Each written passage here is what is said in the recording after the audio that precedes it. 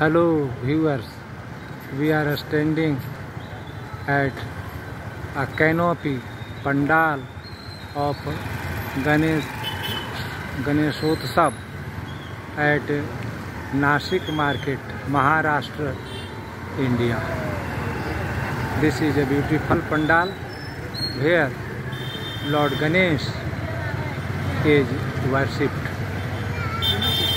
Lord Ganesh uh, puja started on uh, 18th of this month and today is the last day of the worship of Lord Ganesh.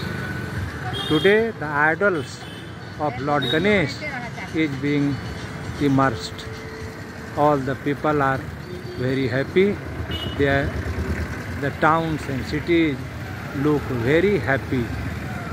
You know, Ganesh Utsav is celebrated on large scale throughout Maharashtra and throughout India. Hail Lord Ganesh. Oblations to Lord Ganesh. Thanks.